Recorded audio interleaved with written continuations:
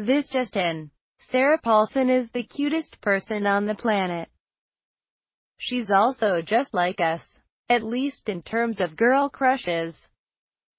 With American Crime Story, Paulson has a tough job ahead of her. Not only is she tasked with playing a real, living person, but also a person who Tina Fey has already played, parodied perfectly on Netflix is the unbreakable Kimmy Schmidt. The FX drama, from executive producers Ryan Murphy and Brad Falchuk, follows the infamous murder trial of O. J. Simpson. Paulson plays prosecutor Marcia Clark, and is joined by a cast that includes Cuba Gooding Jr., John Travolta, David Schwimmer, and Selma Blair, just to name a few.